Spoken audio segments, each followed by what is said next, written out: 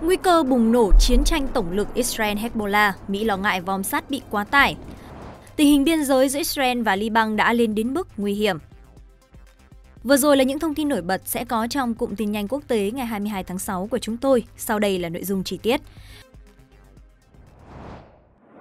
Giữa bối cảnh căng thẳng ngày càng leo thang giữa Tel Aviv và Hezbollah tại biên giới phía bắc Israel, giáp Liban, giới chức Mỹ lo ngại trong trường hợp xảy ra chiến tranh toàn diện giữa Israel và Hezbollah, nhóm vũ trang ở Liban được Iran hậu thuẫn, có thể khiến hệ thống phòng không của Israel ở phía bắc bao gồm cả vòm sắt sẽ bị quá tải.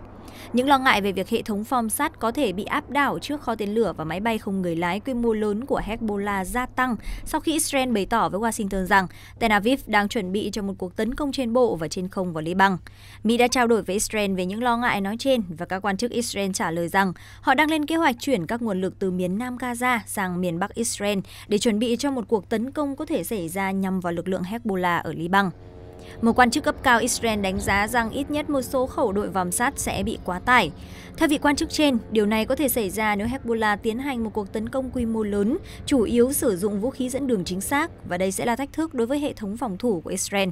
Đầu tháng này, lực lượng Hezbollah đã công bố đoạn video có nội dung cho thấy một máy bay không người lái tấn công và làm hư hại một khẩu đội vòm sắt tại một căn cứ quân sự ở miền Bắc Israel. Trong khi đó, lực lượng phòng vệ Israel IDF cho biết họ không nhận được thông tin về thiệt hại đối với hệ thống vòm sắt. Dù vậy, các quan chức Israel đã thừa nhận với phía Mỹ rằng vòm sắt có thể trở thành mục tiêu, đặc biệt là ở miền Bắc Israel, và họ cũng rất ngạc nhiên về mức độ phức tạp của các cuộc tấn công do Hezbollah tiến hành cho đến nay. Theo CNN, mối quan tâm hàng đầu hiện nay của Mỹ và Israel là Hezbollah có thể sử dụng số lượng lớn tên lửa dẫn đường chính xác. Một quan chức Mỹ cho hay trong trường hợp xảy ra chiến tranh toàn diện với Hezbollah, sự hỗ trợ mà Israel cần nhất sẽ là các hệ thống phòng không bổ sung bao gồm cả vòm sắt. Theo cơ quan nghiên cứu Quốc hội Mỹ, vòm sắt là nền tảng cho hệ thống phòng thủ của Israel và chính phủ Mỹ đã chi hơn 2,9 tỷ đô la Mỹ cho chương trình này. IDF tuyên bố vòm sắt có tỷ lệ thành công lên đến 95,6% khi đối phó với các đợt tập kích tên lửa do lực lượng thánh chiến Hồi giáo phóng vào lãnh thổ Israel vào năm 2023. Dù vậy, nếu Hezbollah có thể làm áp đảo hệ thống phòng thủ tên lửa của Israel, thì điều đó sẽ gây nguy hiểm đến phòng thủ của quân đội, cũng như tính mạng dân thường Israel. Các cuộc thảo luận giữa Mỹ và Israel về khả năng phòng thủ diễn ra trong bối cảnh tình hình ở biên giới phía Bắc Israel đã lên đến mức nguy hiểm. Một quan chức cấp cao của Mỹ cho biết đề cập đến những nỗ lực của Mỹ nhằm ngăn chặn các cuộc tấn công qua lại giữa Israel và Hezbollah trở thành một cuộc chiến tranh tổng lực. Theo vị quan chức này, việc có thể giữ vững mặt trận trong thời gian dài như vậy đã là một điều kỳ diệu. Một quan chức cấp cao khác trong chính quyền Tổng thống Joe Biden cho biết chúng ta đang bước vào một thời kỳ rất nguy hiểm. Bất cứ điều gì cũng có thể xảy ra mà gần như không có dấu hiệu cảnh báo nào. Giới chức Mỹ cho rằng hệ lụy của cuộc chiến quy mô lớn giữa Israel và Hezbollah có thể rất tàn khốc. Kho tên lửa và máy bay không người lái của Hezbollah đang ngày càng gia tăng, tinh vi hơn và có sức tàn phá mạnh hơn so với lực lượng Hamas ở giải Gaza. Hầu hết trong số đó là tên lửa tầm ngắn, nhưng cũng có một số tên lửa có thể vươn tới lãnh thổ Israel với mức độ chính xác đáng kể. IDF ước tính Hezbollah có khoảng 150.000 tên lửa, trong đó có hàng nghìn tên lửa chính xác cao. Nguy cơ chiến tranh tiếp tục gia tăng khi triển vọng đạt được thỏa thuận ngừng bắn giữa Israel và Hamas ngày càng mờ nhạt. Nếu đạt được thỏa thuận ngừng bắn ở Gaza, sẽ có một thỏa thuận ngoại giao song song giữa Israel và Hezbollah. Thỏa thuận này do đặc phái viên Mỹ Amos Hochstein đàm phán và Mỹ tin là sẽ có hiệu lực. Ông Hostein đã đến thăm cả Jerusalem và Beirut trong tuần này, gặp gỡ các quan chức cấp cao của Israel và Liban để thúc đẩy kế hoạch và ngăn các bên leo thang căng thẳng. Tuy nhiên, các cuộc tấn công xuyên biên giới giữa Israel và Hezbollah đã lên đến đỉnh điểm vào tuần trước. Israel vào hôm 18 tháng 6 đã cảnh báo Hezbollah về nguy cơ xảy ra chiến tranh tổng lực sau khi nhóm vũ trang Liban công bố đoạn video ghi lại hình ảnh các thành phố của Israel, trong đó có cả địa điểm quân sự. Các quan chức Israel đã nói với Mỹ rằng họ có đủ nguồn lực để thực hiện một cuộc tấn công chống lại Hezbollah nếu cần, đặc biệt nếu chiến dịch ở Rafah, miền nam Gaza kết thúc. Mỹ đồng tình với điều này nhưng vẫn lo ngại Tel Aviv sẽ phải phân tán nguồn lực giữa Gaza ở thời kỳ hậu chiến và một cuộc chiến với Hezbollah.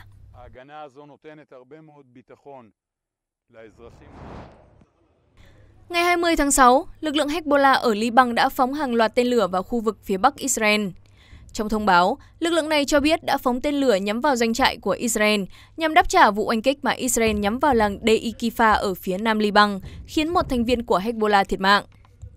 Trong khi đó, các nguồn tin quân sự của Liban cho biết Israel đã tiến hành các cuộc oanh kích vào một số khu vực ở miền nam Liban, khiến 3 người thiệt mạng và 2 dân thường bị thương. Trong số người thiệt mạng, có một thành viên của lực lượng Hezbollah ở Liban và một chỉ huy của lực lượng này. Các cuộc pháo kích giữa lực lượng Hezbollah tại Liban và Israel gia tăng trong những ngày gần đây. Kể từ khi xung đột Hamas-Israel bùng phát ngày 7 tháng 10 năm 2023, Hezbollah đã tiến hành nhiều cuộc tấn công các căn cứ của Israel để thể hiện sự ủng hộ đối với người dân Palestine. Đáp lại, quân đội Israel cũng tiến hành nhiều cuộc không kích sâu vào lãnh thổ Liban nhắm vào các vị trí của Hezbollah. Thủ lĩnh phong trào Hezbollah ở Liban, ông Hassan Nasrallah ngày 19 tháng 6 cảnh báo sẽ tiến hành cuộc chiến không giới hạn nếu Israel tăng cường hoạt động quân sự nhắm vào lực lượng này. Nếu họ mang xung đột tới Liban, phong trào Hezbollah sẽ chiến đấu mà không có quy tắc, không có quy định, không có giới hạn.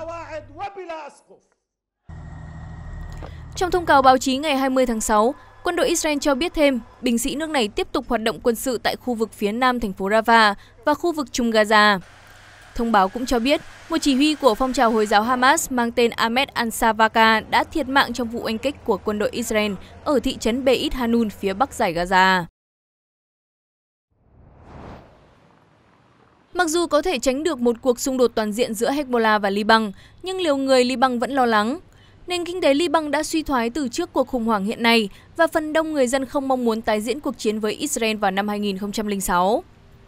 Bên cạnh đó, Liban đang phải trải qua một trong những cuộc khủng hoảng chính trị lớn nhất lịch sử do không bầu được tổng thống sau nhiều lần bỏ phiếu suốt gần 2 năm trở lại đây.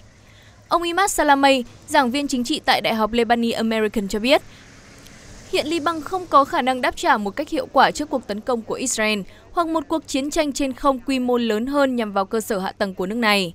Bất kỳ sự mở rộng đáng kể nào của xung đột đều là thảm họa bởi một khi cơ sở hạ tầng bị phá hủy, sẽ khó được sửa chữa hoặc thay thế.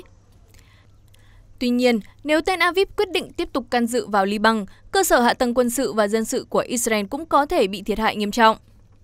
Hezbollah được xem là đã mạnh hơn và được trang bị tốt hơn đáng kể so với thời điểm đầu nổ ra xung đột. Tướng Slomo Brom, một cựu chiến lược gia quân sự của Israel cho biết, số lượng đạn dược khổng lồ trong kho vũ khí của Hezbollah, đặc biệt là kho chứa thiết bị bay không người lái, có thể áp đảo hệ thống phòng không của Israel trong trường hợp xảy ra chiến tranh toàn diện. Quân của Hezbollah cũng là những chiến binh giàu kinh nghiệm, nhiều người trong số họ đã chiến đấu trong cuộc nội chiến ở Syria. Trong khi đó, khoảng 90.000 người dân Israel đang phải tạm di tản khỏi quê nhà để tránh các cuộc giao tranh nảy lửa giữa Israel và Hezbollah.